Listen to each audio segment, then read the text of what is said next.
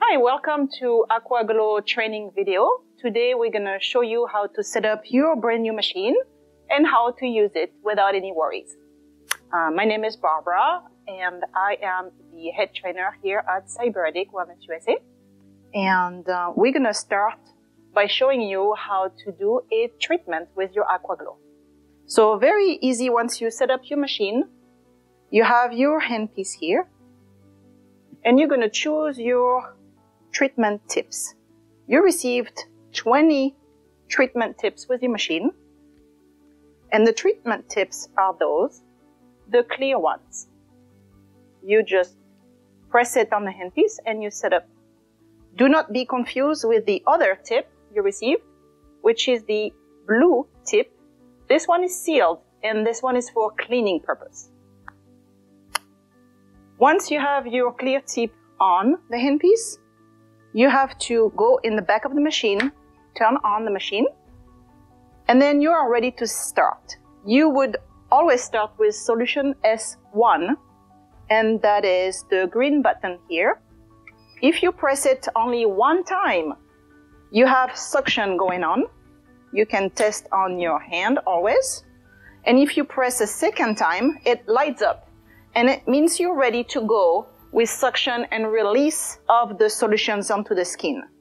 And as you do your little test, you see the bubbles going on in the handpiece and the treatment tip, which indicates the solution is ready to be released. You can also adjust on each side of the machine the different settings. On this side, you have the flow of the liquid, how much liquid you want it to be released. And then on this side, you would have the pressure, which is the suction, the strength of the suction. Usually for solution S1, which is your deep cleansing of the pores, you want a fairly strong but not too strong suction. So I would always advise to go around four, five max to get started. So here we're going to go around four for the first time, especially if the client never received any kind of treatment similar to this. Once again, you can start to test on your hand, and then you will start to also test on your client's face.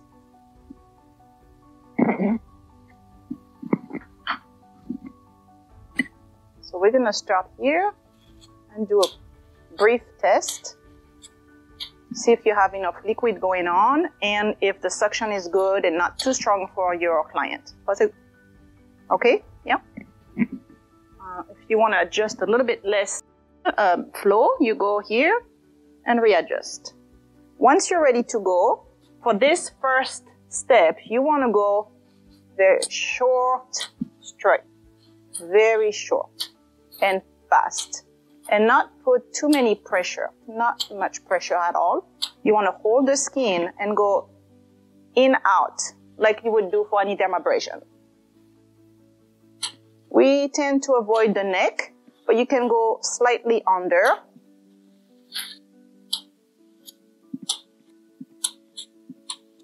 You can wear gloves. Um, it's your choice, but it's not required. Then you're gonna start to see a slight erythema. The skin is getting a little pink, and that's what we want to see.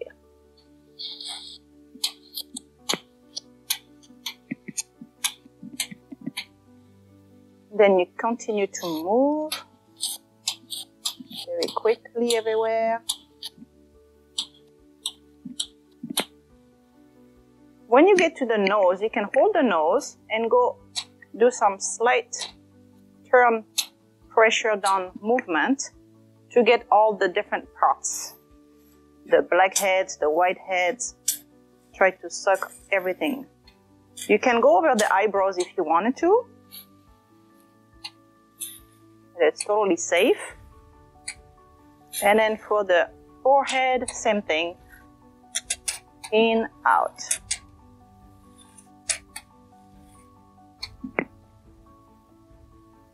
So once you've done one side, you're going to go on the other side and do the same thing.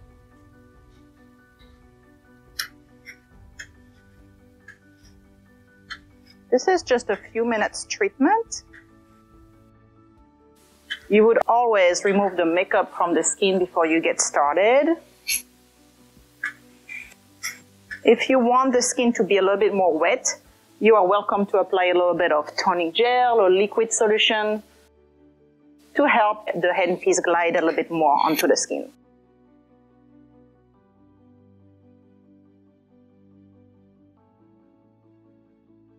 We want a little bit more liquid here, so I'm going to increase a little bit.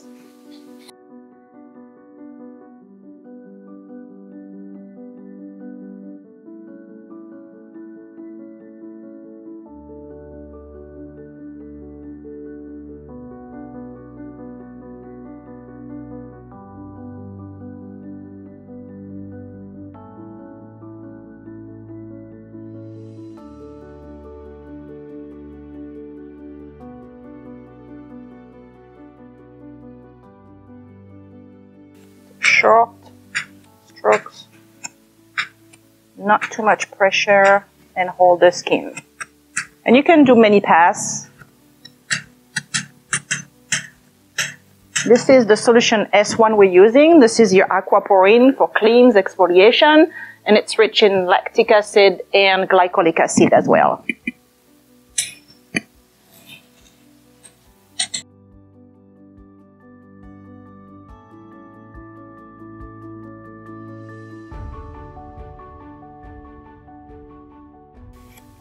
Can go a little close to the eyes if you want to, as long as you hold the skin.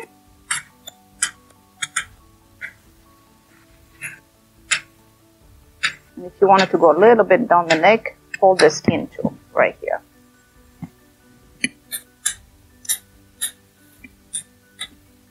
If you feel like you've done enough and the skin is red enough, you can stop right here. Just push the button down and everything stops. Now, to follow up, you can do another uh, step um, and get a deeper exfoliation if you wanted to with the, um, for example, Oxygen Ceuticals we recommend, the double peel. We also have the daily botanical enzyme gommage, and this is a bit more gentle. Or you can go straight to the next phase of your um, choice with your own skincare line or also with the S2. So the S2 is going to be your T-zone cleaning solution. This is your um, salicylic acid, and that's recommended for combination to oily skin types. If you have a T-zone that has a little bit more oil, for example, you can use that solution. So all you have to do if you wanted to do this, switch. We have the top here. We just switch into that bottle and then you can use the same side with your green button. You can use the same tip, same process, push two times until it lights up and check on your hand. And on this, if you needed to for the T-zone only, you would go and do the same process. Work again on the T-zone, on the nose. You work on the uh, chin here, upper lips, and all those bigger pore. If your client has bigger pore and have some acne, you can go on that whole area here. When you're done, simply push the button.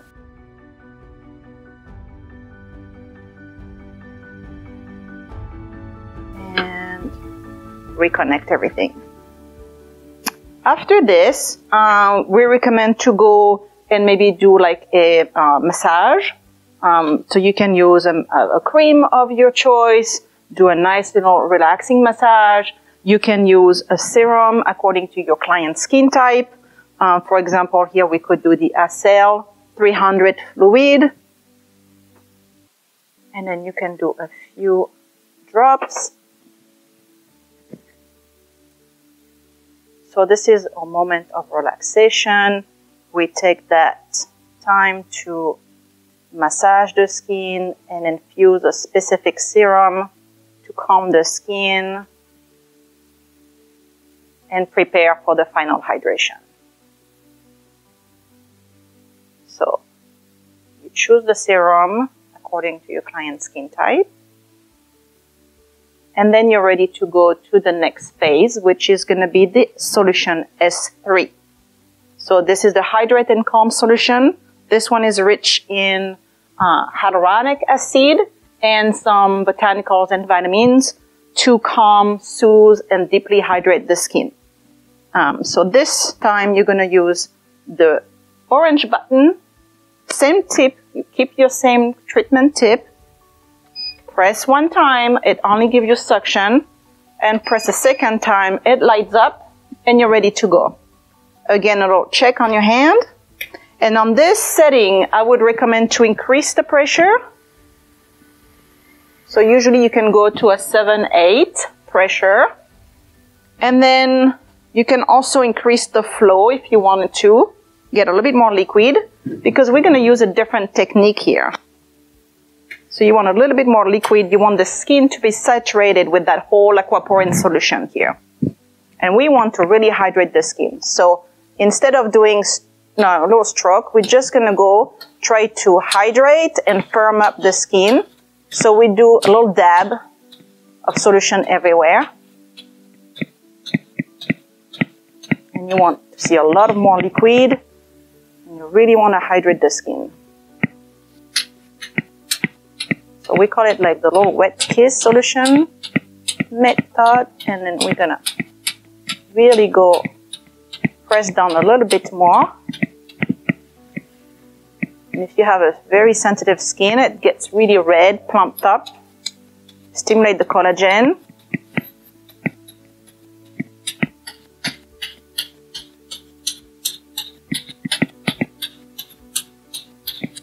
You can still do in and out. You can follow some lines, massage in between.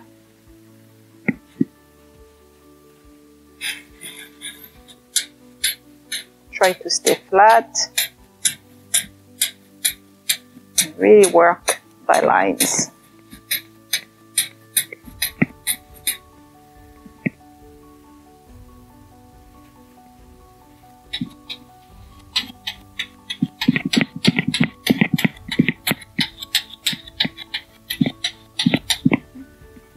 massage here.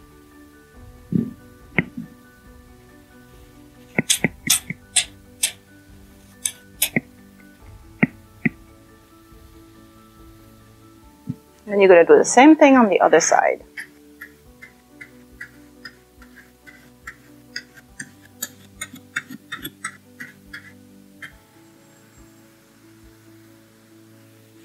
You really want to plump up the skin, activate the microcirculation, get as much liquid as possible to get that skin rejuvenated and glowing.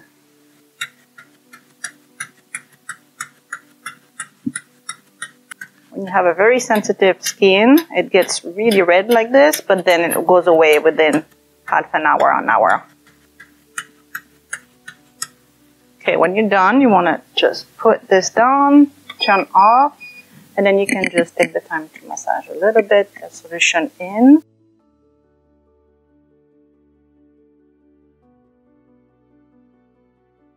Once you're done with this, you can go ahead and move on to the next step, which is going to be the use of our cryo handpiece to calm and soothe the skin. To use your cryo handpiece, you want to turn on in the back and then everything lights up. The button and the cryo handpiece itself. When you're done, simply turn it back off. We recommend to not use the cryo handpiece on dry skin. Um, so we always recommend to have a collagen sheet mask or a uh, gel mask, some kind of um, gel texture would help to glide the cryo handpiece onto the face. It's really working great when you have a full mask onto the face too. It helps the mask to penetrate, especially those new collagen sheet masks. We have a great mask called the uh, cryogel mask. Put it on the face, you can leave it on for like 20 minutes and work five minutes with the cryo handpiece when you do it. It's really feeling great right after. So you have your blue LEDs, and the blue color, as you know, it's known to be really good for combination to oily skin types to kill the P bacteria on the surface. And also the cooling goes to minus five Celsius. So you're really going to help to cool the skin right away. And you can work this by circular motion. It's really cooling and soothing, which feels good right after using the different step of the AquaGlo because those aquaporin solutions can be a little bit tingling on the skin.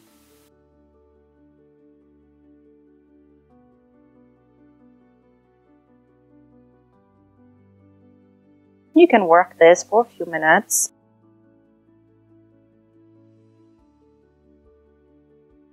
You can just remove the excess of the products at the end or do a wet towel, remove everything. Once you're done with your cryo handpiece, you want to do the finishing touch of the facial. So at this time you can do your regular uh, serum, eye cream, cream and sun protection before you send your client home. Um, here I'm just going to use our Oxygen Ceuticals line. For example, I have here the Anti-Wrinkle Essence Forte. That's your very light serum. And then you can apply this all over the face.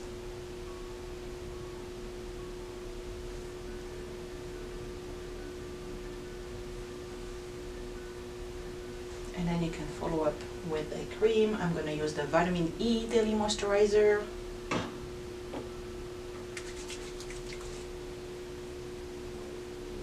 And then the skin is all glowing and hydrated. And that's your finishing touch for your AquaGlo treatment. And finally, if you want to show your client the end of the treatment, what how beneficial it was for their skin. You can show the uh, cloudy solution here um, to show that all the uh, little dirt and um, germs and everything from the skin has been completely transferred into that waste container in the back.